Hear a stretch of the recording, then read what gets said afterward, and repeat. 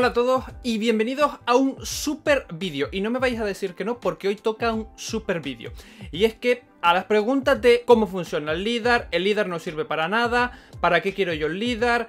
Qué hace el LIDAR, en realidad está activado o no está activado. Hoy os voy a responder a todas esas preguntas en un solo vídeo, que va a ser este. Y hoy os voy a mostrar cómo funciona el LIDAR de una forma que no os esperáis, con visión nocturna. Y es que lo que he hecho es que como yo soy jugador de Airsoft y tengo este visor nocturna, pues no para yo ver las partidas nocturnas, pues lo que he hecho es acoplarle aquí la cámara del iPhone, por lo tanto, eh, sí, es un poco chapusilla, pero a falta de medios, buena es la inventiva. Así que lo que he hecho es acoplar la cámara del iPhone al visor y aunque no tiene una grandísima calidad, vais a ver claramente cómo funciona el LIDAR del iPad Pro. Porque esta cosita que está aquí, que apenas se ve, trabaja y trabaja muchísimo, trabaja muy rápido y en una amplitud bastante grande. Y aunque no lo veáis activado, vais a ver que está trabajando. Así que vamos allá y vamos a ver cómo se ven esos vídeos en el Mac y os voy comentando un poco qué es cada cosa y os voy explicando esos vídeos. Los primeros vídeos, hay que decirlo, vamos a, verlos en vertical. ¿Por qué? Pues porque como estaba de pruebas, mm, grabé en vertical y ya después lo veréis en horizontal. No me matéis. Bueno, aquí lo que veis es que estoy rastreando el techo de mi casa con el iPad que lo puse encima de la mesa y como veis ahí, aunque se ve distorsionado un poco, eh, ese puntito es el LIDAR, que no tiene luz realmente. Lo que pasa es que los fotones que está enviando al techo, como veis, si acerco la cámara o lo pongo en cierto ángulo, se ve pa pa pa pa pa pa, pa porque el, el lo que está haciendo es mandar muchos mensajes y recibiendo. Y son todos esos que estáis viendo en el techo. Y la altura de la mesa del techo hay como 2 metros. Bueno, en este vídeo lo que estoy enfocando es a la pared y como veréis todos esos puntitos son los puntos que el LIDAR va detectando yo estoy moviendo el iPad y como veis si lo oriento de una forma u otra los puntos se van moviendo como veis ahí es la pantalla del iPad y esa es la parte, vamos a pararlo ahí mm, en ese frame y eso es el LIDAR eso es el LIDAR mandando información por infrarrojo, haciendo que rebote, recibiéndola y calculando así la distancia. Y está todo el rato mandando montones de señales para que reboten y vuelvan. Porque si el TOF, el sensor de profundidad que tienen algunos móviles, lo que hace es enviar una señal que vaya, vuelva, calcular y de ahí hacer el tema del enfoque y el modo retrato y demás, lo que hace el LIDAR no es uno, son montones que sí, que el líder del iPad Pro, como ya vimos en el vídeo de la review del iPad Pro, que si no habéis visto, pues id a verla aquí en la esquina, pues eh, es de baja resolución. Pero ya no es un punto el que toma de referencia, son varios puntos los que toma de referencia. Y como veis ahí, el LIDAR, si lo, vamos a ir viendo poco a poco, eh, lo que va haciendo es si lo veis, ta, ta, ta, ta, ta, ta, ta, lo que pasa es que si lo pongo directamente contra la cámara, eh, o contra el visor nocturno en este caso, parece que es un único y no, está todo el rato mandando y recibiendo información. Como veis ahí, hace unos pequeños parpadeos porque son varios eh, sensores los que están mandando información. Y como veis ahí estoy jugando un poco con los distintos ángulos para que veáis que el LIDAR se está moviendo, no está quieto, está trabajando aunque nosotros no lo veamos. Y es esa parte pequeñita, pero fijaos como hay varios puntos, parece que hay varios puntos dentro del escáner.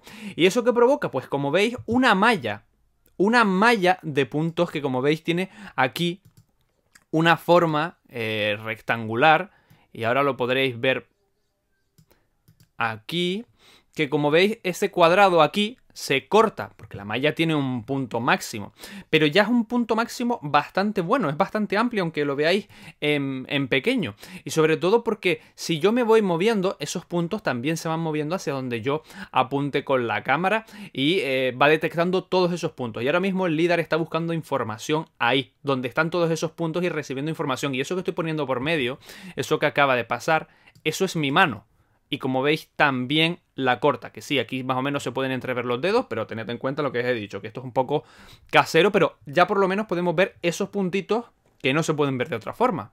Y ahí lo que está haciendo el líder, pues es como digo, enviar toda la información. Ahí veis, como veis, pasa la mano por medio y también la escanea y por lo tanto estará recogiendo puntos de información en diferentes distancias. Estará recogiendo la pared y estará detectando que mi mano es otro punto. Ahí lo que hice fue traer la caja del iPad Pro para que veáis no solo contra la pared, sino contra la caja. Y como veis, ahí me voy acercando y mirad toda la malla de puntos cuando yo me acerco. Claro, me estoy acercando, aunque lo veáis de distinta proporción, mucho. Me estoy acercando mucho con el iPad a la caja, digamos, a esta distancia. ¿Y eso qué provoca? Pues que los puntos se van concentrando más en el objeto. Si voy dos frames atrás, veréis cómo los puntos estaban muchísimo más separados porque tendían a coger toda la pared, o no toda la pared, pero sí un buen trozo. Pero sin embargo, mientras me voy acercando, se van concentrando en ese objeto. Voy a ponerlo otra vez para, para, que lo veáis. Ahora veréis muy rápido que me voy acercando y esos puntos se van concentrando todos en la caja del iPad. Como veis, ahí se crea la malla cuadrada pero mucho más pequeña. Como veis aquí en estos puntos ya la malla pues se ha cortado y aquí vemos, vemos la, la otra esquina. Y como veis esta parte de aquí esto que más o menos se puede ver, es eso yo acercándome mucho con el iPad a, la caja. Y como veis, mientras me voy retirando, esos puntos se van eh, modificando y haciendo mayores para ocupar más espacio. Y eh, aquí veis que le doy vuelta a la caja, eh, moviéndole y demás, y no hay ningún problema. Bueno, vamos a ver el, otro vídeo, que este es el último. Aquí he retirado el visor nocturno un poco más atrás. Como veis ahí estoy jugando con las cámaras del iPhone para que veáis. Y bueno, volvemos a hacer lo mismo. Vemos ahí el corte de la malla y ahí me voy acercando mucho, mucho. Y ahí veis incluso que a la distancia a la que estoy, con el iPad encendido con una aplicación para que active el escáner, que es especial para el LIDAR. Y como veis aquí se ve perfecto el corte que hace la malla. Es que lo que hace el líder es crear una malla de puntos.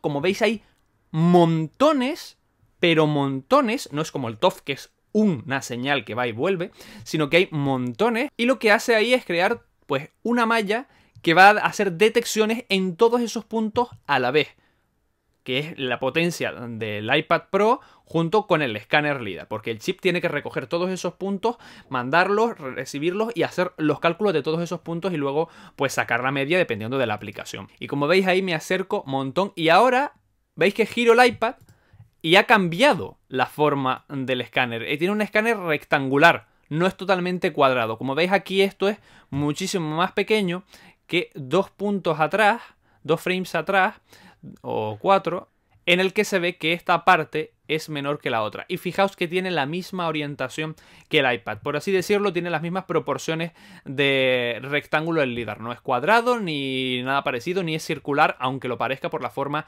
del LIDAR físicamente en el iPad. No, es rectangular y como veis ahí los puntos se van haciendo muy pequeños porque estoy acercando muchísimo a una distancia muy corta el LIDAR de la caja, en este caso del iPad.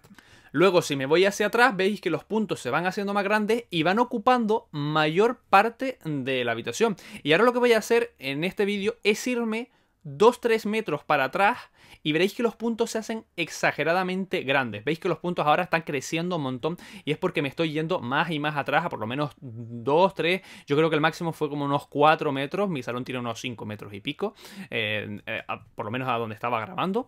Y como veis aquí los puntos son muchísimo mayores. Y como veis eh, no tardan nada. O sea, no hay un delay, no hay nada, el cálculo es totalmente instantáneo sin retardo ninguno. ¿Y para qué va a servir esta malla? ¿Para qué van a servir todos estos puntos? Pues pueden servir para impresiones 3D en un futuro de que alguien desarrolle un software aprovechando el LIDAR y que yo pueda coger el iPad, hacer un escaneo, por ejemplo, del Blue Yeti, que es lo que tengo ahora para grabar, y con eso poder decir, vale, he hecho un escaneo 3D, lo mando a un programa que lo procese, etcétera, y me lo imprima 3D. A lo mejor no cosas muy complejas, pero cosas relativamente sencillas en un principio se podría hacer. Obviamente, el iPhone 12 o 12 Pro, cuando tenga un LIDAR, tendrá muchísima más información a la hora de enviar eh, ese punto de enfoque, recogerlo para el cálculo de enfoque, no solo sea más rápido, sino también más preciso. Y por ejemplo, en el modo retrato, Muchas veces las personas, algún pelo, alguna cosa, patina. El enfoque y el recorte patina y no lo pilla o pilla menos. O por ejemplo, ya en las pruebas de las cámaras del iPhone 11 Pro, lo dije por activa y por pasiva, el enfoque para objetos que tiene el iPhone 11 Pro y el Pro Max la verdad que se queda un poco cojo en algunas circunstancias, por ejemplo, en un vaso, en el asa, sino que el asa por fuera sí que está desenfocada, pero por dentro sigue enfocada. Pues esas cosas el LIDAR podrá corregirlas a través, obviamente, del escáner LIDAR y también del software que lo acompañe, detecte esos detecte las distintas distancias y pueda hacer un recorte más preciso. También el LIDAR pues, nos va a ayudar a mapeo, detección de personas y obviamente a realidades aumentadas, porque como habéis visto, no solo puedo detectar cosas muy cerca, sino me puedo ir 3-4 metros y el sensor sigue enviando señales pues para la realidad aumentada, por ejemplo, de la aplicación de IKEA o que otras aplicaciones que no se habían puesto con el tema de la realidad aumentada porque faltaban recursos, ahora con el escáner LIDAR sí los tenga. Y eso es lo que pasa cuando mezclas un visor nocturno con un iPhone, que puedes ver qué ha metido Apple aquí y cómo trabaja el escáner LIDAR en el iPad Pro. Y como veis, ahora tenéis más idea de cómo trabaja el LIDAR, de para qué sirve y qué utilidades puede tener en a lo mejor un próximo y futuro iPhone 12. Así que si te ha gustado el vídeo y quieres más como este, aquí en la parte de abajo suscríbete, importantísimo, y luego redes sociales. Nos vemos en el próximo vídeo, apoyadlo fuerte y compartidlo. Un saludo a todos y hasta la próxima.